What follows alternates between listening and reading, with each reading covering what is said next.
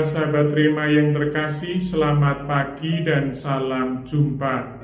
Hari ini Jumat dalam Oktav Paskah, sebagai titik tolak permenungan, saya hendak merenungkan dari bacaan yang pertama, yakni kisah Rasul bab 4 ayat 1 sampai dengan 12. Saudara-saudariku, berbeda itu sebuah situasi yang dalam praktek hidup ternyata tidak selalu mudah. Saya ingat sebuah pengalaman di masa lalu, ketika saya masih kecil, kepala yang saya miliki jauh lebih besar daripada kepala anak-anak yang sebaya. Akibat situasi ini, saya kemudian diejek oleh teman-teman. Saya diparapi atau diberi nama entok enting, artinya berkepala besar tetapi badannya kecil. Jika berbeda secara fisik saja, ternyata bisa menimbulkan hal yang tidak mudah apalagi berbeda dalam sesuatu yang menentukan hidup dan jati diri seseorang.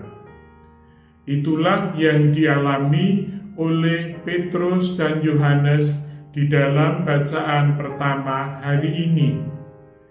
Bukan hanya ejekan dan bullying, mereka ditangkap dan bahkan kemudian dipenjarakan. Istimewanya, pelakuan seperti ini ternyata tidak membuat nyali mereka ciut.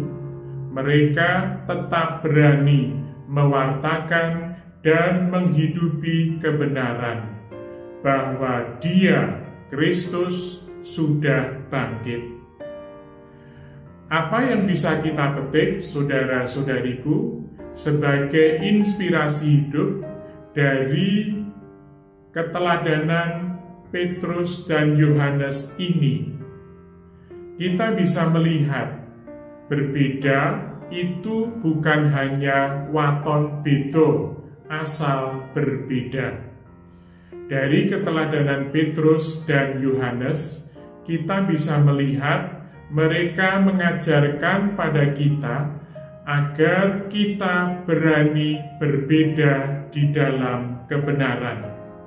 Itulah pelajaran penting, itulah inspirasi hidup yang perlu kita ikuti bersama. Saudara-saudariku, jika kita mengakui sebagai orang Kristen dan kemudian percaya bahwa Kristus sungguh telah bangkit, maka inspirasi hidup ini perlu kita wujudkan di dalam keseharian kita. Satu hal yang perlu kita ingat di dalam menerapkannya, yakni kita perlu pula berlapang dada. Sebab berlapang dada ini menjadi sesuatu yang penting. Lapang dada menghindarkan kita dari sikap uring-uringan, teristimewa pada saat kita diabaikan dipersulit, dan bahkan ditolak. Saudara-saudariku, semoga dengan keteladanan dari Petrus dan Yohanes, kita semakin berani di dalam menjadi saksi bagi kebenaran. Keluarga kudus, doakanlah kami. Bapa yang maha baik, Bapa yang Maha Kasih, sudilah Engkau melimpahkan berkat-Mu bagi kami, agar kami boleh menjadi saksi kebenaran, sebagaimana diteladankan oleh Petrus dan Yohanes, dalam nama Bapa dan Putra dan Roh Kudus. Amin.